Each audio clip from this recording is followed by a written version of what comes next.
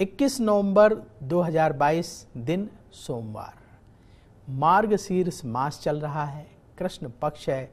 द्वादशी तिथि रहेगी। सुबह दस बजकर सात मिनट तक। फिर त्रयोदशी तिथि प्रारंभ हो जाएगी। चित्रा नक्षत्र है आज। चंद्रमा कन्या राशि में है। और कन्या राशि में रहेंगे बारह बजकर तीस मिनट दोपहर तक।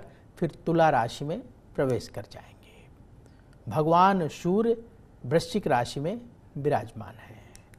आज अभिजीत मुहूर्त का समय होगा। सुबह ग्यारह बजकर छियालीस मिनट से दोपहर बारह बजकर अट्ठाईस मिनट तक। राहु काल का समय होगा। सुबह आठ बजकर आठ मिनट से सुबह नौ बजकर अट्ठाईस मिनट तक। दिशा शूल है पूर्व दिशा। तो पूर्व दिशा की ओर आज लंबी दूरी की यात्रा मत करिएगा। जो भी महत्वपूर्ण काम करना है, वो अभिजीत मुहूर्त में कर लीजिएगा और राहु काल अच्छा नहीं माना जाता है, इसलिए राहु काल में कोई भी शुभ काम ना करें।